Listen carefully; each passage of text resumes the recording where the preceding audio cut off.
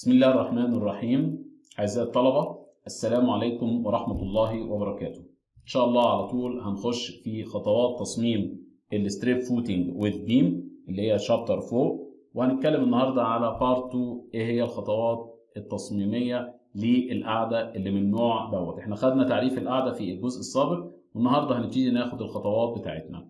زي ما اتعلمنا في الأجزاء السابقة كلها إزاي نصمم أو إيه الخطوات بتاعة التصميم لازم يكون عندي معطيات أبتدي بيها التصميم. فلازم يكون مديني في المسألة ال net allowable capacity of soil اللي هي q net allowable ال yield strength of steel اللي هي f yield characteristic compressive strength of concrete اللي هي ال fcu وأحمال العمود. ممكن على فكرة ما يبقاش عمودين ممكن يبقى أكتر من عمود. عمود 2 3 4 5 وبرضك أحط قاعدة واحط الايه؟ القاعده تحتيها وتبقى strip with إيه؟ beam. لكن إحنا بنتكلم لو مثال زي ده بسيط يبقى مديني P 1 و P مين؟ 2 ومديني طبعا أبعاد الأعمدة ال a 1 في b 1 وال a 2 في مين؟ في b 2 ومديني سمك الخرسانة العادية وخلاص مش هنتعرض بقى لموضوع سمك الخرسانة العادية. إحنا عرفنا سمك الخرسانة العادية لو كان أقل من 20 بنعمل إيه؟ ولو كان أكبر من أو يساوي 20 سم بنعمل إيه؟ طيب ده أو ديت الكاميرا بتاعتي. لازم أخلي بالي منها إن أنا لما أجي آخد عرض الكاميرا اللي أنا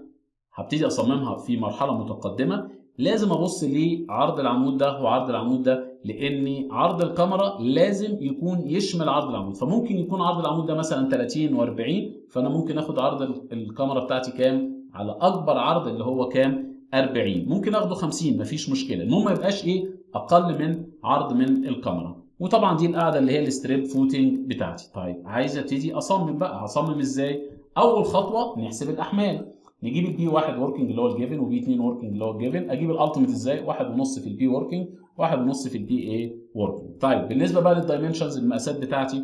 برضك نفس الفكرة اللي إحنا قلناها في ال combined footing إن لازم الأحمال بتاعتي أو المحصلة بتاعت الأحمال تكون في المنتصف عشان ال stresses يبقى تحت ماله. uniform. فعشان كده لازم أجيب المحصلة بتاعة الأحمال بتاعتي. أجيبها إزاي؟ ال P total دي بتساوي إيه؟ ال P 1 زائد ال P 2 يعني ال P total بتساوي P 1 زائد P 2 آخد ال moment حوالين النقطة دي أو حوالين النقطة دي مش هتفرق. P total في X بتساوي P 1 working في مين في S يعني عزم المحصلة حول نقطة بيساوي عزم القوة حول نفس الايه النقطة. جبت قيمة مين X لو عايز أجيب ال X bar هتبقى X زائد المسافة اللي بعديها اللي هي لحد الحدود بتاعتي. ممكن أزود أنا متر ممكن ايا كان مفيش مشكلة يعني.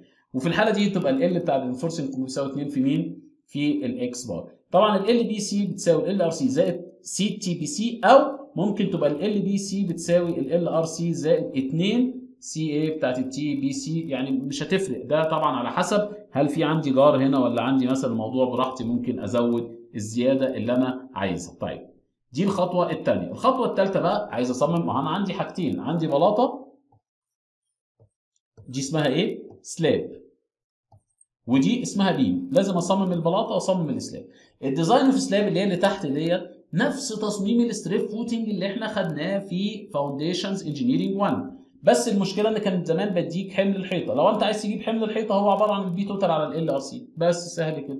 وادي ال P ultimate واحد ونص في ال P work وابتدي أقول بقى ال dimension area بتاع ال reinforced concrete P working على q net allow الواحد ما ال area ديت عبارة عن إيه؟ واحد في مين؟ في ال B RC بقدر أطلع ال B RC ولا لأ؟ جبت جبت ال B RC بتاعتي. ده لازم يقرب لأقرب كام؟ 5 سم بالإيه؟ بالزيادة. وبعد كده ال B بتاعت ال plain concrete بتساوي ال B بتاعت ال RC اللي أنت جايبها زائد 2 بتاعت ال t PC أو زائد 2 ال C t PC وعارفين إيه الفرق بين ديت وبين ديت؟ على حسب سمك الخرسانة العادية. طيب جبنا ال dimensions إيه اللي بعد كده جيب الاستريس سيجمنت بي وركينج على الاريا الاريا هنا لو تلاحظ إن هي بتساوي مين؟ ال B RC في كام؟ في واحد.